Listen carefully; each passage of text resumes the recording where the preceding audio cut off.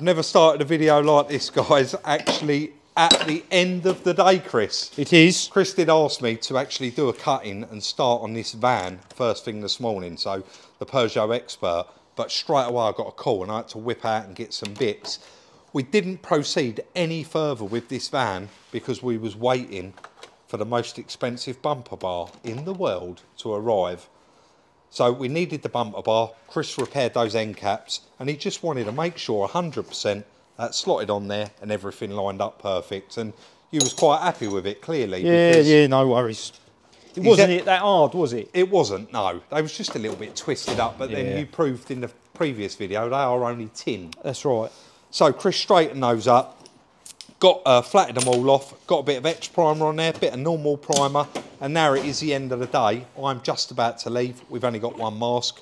Chris is going to paint those end caps white, and then we can continue on. So we'll be back in the morning. That's the next day, and they're all done, guys, all nice and dry. So let's get it unmasked. They look perfect, Chris, don't they? They come out very, very nice, and no one's ever going to know.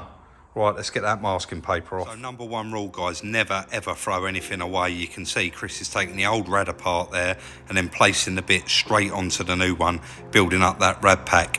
On goes the front bumper bar, which fits lovely. Chris got both of those caps absolutely perfect.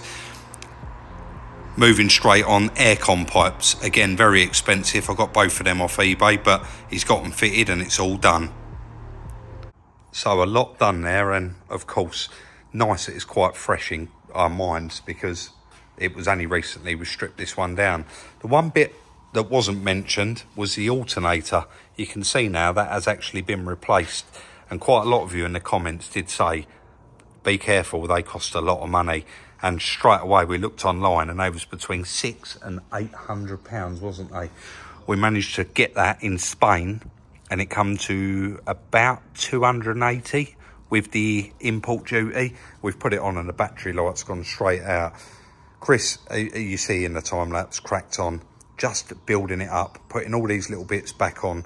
I'm now going to pop out to the breaker's yard because the last part I actually realised was missing was that rad hose. But you can see started building up the radiator there, just getting it all ready, slowly, slowly, putting it all back together. That's, that's what it's going to be, isn't it? We'll let you continue on, mate, and I'll go and try and get you a new rad hose. I've had to speed this up quite a bit, guys, because it was very, very long, and it is the front panel process of swapping everything over. It really does take quite some time to do. And in with the radiators, Chris is getting them all plumbed up, the pipes, aircon pipes, and then he puts on there the new front panel, and it lines up lovely onto the front bumper. Hard going in this heat, mate. Yeah, it's quite warm. It- It's very warm, isn't it? Got tin roof. I'm outside just doing something, and Chris, as you can see, is cracked on in here. Now, is probably something that never gets mentioned in the videos, and we're going to mention it today. As you can see, Chris is going through the whole process there of building this up. Ultimately, it's all got to come apart again to be built back up again. It is, it's going to need paint, but you need to put it all together to make sure it all lines up, mate. Right? That's make sure right. it's all yeah, correct. Yeah. I mean, obviously the rad can stay in it. Um, intercooler will stay on, but front panel grill that I was building up there on time lapse. Yeah, see That, that. that's just purely for the purpose of making sure it all fits with the headlights, lines up. In case something on these flitches needs a bit of tweaking, I don't think it does Nah. because that front panel was plopped on there fine. So Gone straight on on but its it's silly not to just do a dry run. Oh, definitely. And and also it highlights any little bits, clips, things that are missing. Well, you already noticed the little duct that yeah. needed to get. and So we just make a list of them, and then hopefully once it's back from paint, we got everything. yeah, it's straightforward fit up. But you, you ain't had to tweak nothing. You ain't come across anything. It's all lining up exactly where it should be. Yeah, we know that that wing that side's got some damage on it. Yes. So um, in there, and you think this is just tweaked out a bit. you can see if you shut the bonnet, Rob. If you just pull that, you'll see. yeah. So And that dent is only caused by the fact that that headlight has pushed that That's wing it. out. yeah, So once you pull that wing back round, a lot of bit that of pull, pull and push at the same time, Yeah. And that should. Um, Go on, mate. Down you go. That's it. and new wing this side So I'm going to repair on that door. Oh yeah, that's Uh, quite. I'm not worrying about the door at the moment. This is just get the wing on so that we can put the headlight, bumper, grill, and make sure, uh, uh, as I say, all that lines up. It's coming along quite nicely, yeah, isn't it? Yeah, no dramas. You're about to do some headlight lug repairs, aren't you? Headlight Well, I'm just going to mention in this video, Chris, only because I don't know when people are going to watch this, but the last video, the Mercedes in particular, someone said, "Cool, good luck. The bits are going to be dear on that." Would you agree with me that the bits for this car are twice the price as Mercedes? yeah, spiteful, aren't This they? has been very, very expensive. It's all down to availability, though, isn't It it? is absolutely, but I mean that that grill to buy from the dealer comes as a skeleton, and it was about 380 quid, and it's just all the bits that you've got to buy that go inside it. Guys, I'm going to leave you with Chris. I've got to pop out and get a tyre, and he's going to crack on fitting this up. As you can see, the front wing's going on there, and everything seems to be lining up lovely. Just taking some bits off the old wing there, like a clamp in with the headlights and it's really starting to come together now. Chris done this headlight repair. He also put this out on Instagram, Salvage Rebuilds Chris, if you want to see that. And in with that headlight that he's just repaired. Again, we'll get into the numbers, but the lug kits for this were extortionate. He's got the front bumper out there ready, just putting a few trims in. There is lots of little parts to this front end on this van. He got cracking there, guys, didn't he, in the background? Got it all pieced together. Like we said previously, this is purely to line everything up. All of this has got to come off again to be painted. Well, I say it's got to come off the wing, front grille has, and obviously there's some repairs to do to the bonnet. What I will say about this, since the last cut-in, I have ordered the last few parts for this van, and the parts, the prices for the parts on these vans, I think we'll definitely be laying off doing one of these until they become a little bit older because the bits on it are so, so expensive. The lug kits, you know, we buy those. I mean, it'll all be in the numbers anyway. But if you was buying them for say Fiat 500, they're £15 for both sides. £7.50 a side for a set. The um, ones that we just done for the Audi, they was like £13 a side. Do you know these headlight lug repair kits? I think was 60 odd quid for the passenger side headlight and then 50 odd pounds for the driver's side headlight, which is crazy. It is an extortionate amount. I think they've now cottoned on to people are repairing them, so they've put the price of these parts up. But everything, airbox and a couple of pieces of plastic, like 400 odd pound, it is just so, so expensive. Anyway, like I said, it'll be in the numbers. He's got it that far really, really happy with it. Chris just said, Rob, get that cutting done. I want to crack on and get the bodywork done. Since the last bit, you can see that he's pulled that wing round and it was, that dent in there was where that wing had actually bent round here. And of course it had to go somewhere and it dented in. He's pulled that round and got that about right. That is ready for a small skim of filler. Then he's taped the door shut this side to stop us opening it, obviously, because there's a new wing there. He's going to do the edge of that door as well. And then you've got that little bit on the bonnet. Apart from that, I think that is the only bodywork. And he really wants to crack on with it so we can get it out the paint shop. So let's get on. I'm taking the bonnet off there. I'm just about to pop out and Chris is going to make a start on that bodywork. So you can see he's banging around there with his panorama, getting the door right, knocking it back there with a DA and the finger grinder. And then he's going to move straight onto the spot welder there and pull out all of the little uh, low spots in it and get it as best he can. Straight in with a filler. Moving along very nicely there, guys. And look at that bonnet already. Chris said he's only had a little tweak, a little play with that. And he's actually got that big, it sort of stepped down, didn't it?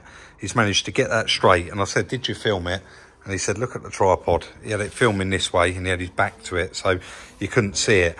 The stickers, again, very, very easy to get off. They was compared to the Transit because they was big stickers with writing over the top. So he's got a little bit more work left to do on that. And that's definitely going to be save that bonnet, which is saving a few quid because judging by the weight of it, is it Ali? I think it is. It's got to be, hasn't it? Sorry, when you went off on the phone there, I said you actually had your back to that bit when you was doing that, so we won't show that. Um, door, absolutely perfect. Little bit of filler. I'm going to repeat this, and I know I sound repetitive when I do say it. Looks like a lot, guys. Wait till Chris has actually knocked that down. Then I'm going to do another cutting and show you just how much is not in there. You just have to put quite a bit in there. Once it's rubbed down, it'll be quite transparent in places.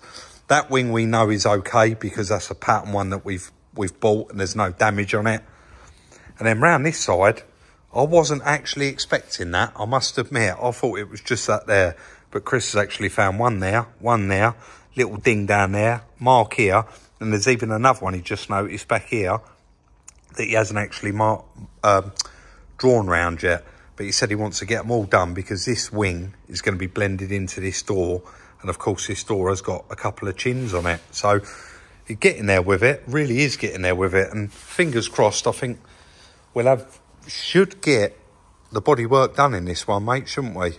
Yeah. I'll say we lightly because I won't be doing it, will I? But we're going to let Chris continue on and get that all done. In with a filler flattening off the passenger side front wing. Loads of little dents showed up once he did flat it off that you couldn't actually see until the paint was removed. And onto the bonnet. Oh, I still can't believe Chris saved this bonnet. It was really, really bent. And when you put it on there, you could get your hand in underneath it. But as usual, he saved the day there. So cracking on there. And Chris has got that bonnet bang on and saved it. But he does keep finding more little dents the longer he goes along. And he said it's got to be right. So he was concentrating on this area that he's completely fit, uh, straightened out, just knocking it back ready for a skimmer filler. And then he, you will see he rubbed his hands over it and he actually found another low spot right here, a bit of a dent. So he's knocked that back as well. Chris is going to take a break now and eat his lunch. And I thought, save making a whole video of it next time as well. Why he's doing that, I'm going to crack on and actually de-sticker this. That light bulb is one great big sticker. Now, I think they'll all come off okay because the bonnet ones did come off okay. But if you are going to find a problem, you want to find it, obviously, before it goes off for paint anyway. So let's crack on and actually get them removed. We'll start with that. I think it's going to be quite satisfying. While Chris is just out talking to a builder, I decided to take these stickers off. I knew it'd be a little while and this one was actually a lot easier to do than the Transit where they was whole complete stickers and not just individuals. Guys, them stickers come off and this van's lovely. It looks so different now they're removed and all of it come off. It just shows you they've not been on there for a long, long time because the van's reasonably late. There is still some residue, but of course we can't polish it because it's got to have paint. But all of it is gone. How lovely that looks. So much better. And there's no digs, no scratches, no paint missing anywhere. It is all absolutely fine. Chris has got the filler in that front wing now. I'm ready to start knocking that back and then move on to the bonnet. So far, so good. I don't think this one's going to take too much longer. Let's crack on. Cleaning up the bonnet there and ready for its first skimmer filler. You can see the driver's side doors all done now. Straight on to knocking down that filler. Nice, actually come out really nice that door and the bonnet there, all flatted off. I think Chris didn't, he only had to give that bonnet one skim and got it right the first time. Moving on to the driver's side front wing, flatten that off, all of the little dents. And of course, that's come out absolutely perfect as well. I think this is the last panel Chris is going to be prepping there. Well, just before we uh, do start, mate, have you got your mic on? I have, yeah. Is it on? That was some. I bet that was some hard yeah. going in this heat, wasn't it? It is seriously, yeah. seriously. It's on, it? Yeah. It's seriously hot today. You it must be oh, under a tin roof. Tin roof, yeah, we do say that, but he's there with it, guys. Got the filler all knocked back, and this is all done. I think all the body work. It is, Chris, isn't it? Yeah, we've got to put it outside, clean down, and then bring it back in, mask up, put some primer on it. Put some primer on it, and then it can go off to the paint shop, can't it? I've still got to do that airbag kit. I don't know about doing it in this heat. I see you've uh, done that little repair there as well, so this Yeah. wing is going to blend into that door. But overall, I think that's been it's been a nice job to do, hasn't it? It's just so expensive on them parts. I'm going to say it again. It is Yeah. crazy the price of the parts for this. It is genuinely twice the price of Mercedes parts. We'll let Chris get this outside. He's not going to video blowing it off with the airline, and then he's going to get that masked up and get some primer on it. Get it ready to go over the paint shop. Straight on to the tack cloth bit of cleaner, one rag to wipe on the panel wipe, one rag to wipe it off. A lot of people make the mistake with one rag and you end up contaminating it. So on with all the primer, all the way around the whole van. He's cracked it guys, all done, all primered, you could see there. And already this morning, put a bit of guide coat over the top.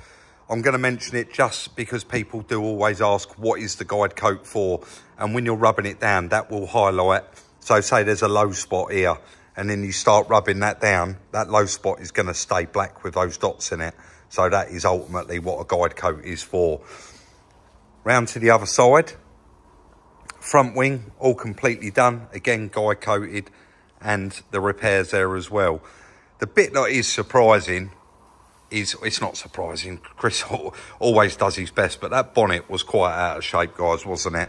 And he managed to get that absolutely perfect. And that come out lovely as well. And there's a bit of a clue here if you haven't seen the video already. There's something missing out the, out the spray booth here. So that's just going to want a bit of guide coat on it and flatten off. And I think that is it. It is going to be ready for the paint shop. We are sitting here, I'm in an R-in, whether it's going to be airbag kit before it goes or airbag kit when it comes back. So really, I want to get Liam to cut the windscreen out and do it like we did in the Audi A1 because it just showed so much more. It was so much more up close filming it from the side and through the windscreen as well. So Chris did just say he wants to put his unmask this, put it outside. We've got a lovely bit of weather and wait for this uh, primer to go rock hard and then he'll flat it off and it'll be ready to go off to the paint shop, obviously, or the airbag kit, whatever one comes first, guys. Nice to see it finally like this, guys. And I've just watched the video back. I can't, I can't, I've moaned about the price. I couldn't get my words out there all the way through the video, I've moaned about the price of the bits for this van. So it's so nice to see it at this stage and know that apart from the paintwork and a windscreen, we haven't got to actually spend any more money on it. It has been a nightmare to get second-hand parts for this van. And I was, what I said earlier in the video, we probably won't do another one of these until they become a bit more current. 69 reg, I think it come out 2016 but the parts that are available are very, very expensive. So it's now it's going to be ready to go to the paint shop. That is the end of today's video. As usual, we do hope that you did enjoy it. If you did, hit that thumbs up. If you didn't, hit the thumbs down. If you haven't subscribed already, please consider doing so for more content like this and various other cars. We are cutting this one a little bit, well, it's not a little bit short. It's, it's a nice normal length video but we've just got a new project to arrive and we want to crack straight on with that guys so like subscribe share follow us on instagram salvage rebuilds follow chris on his personal at salvage rebuilds chris and we'll see you very very soon in the next one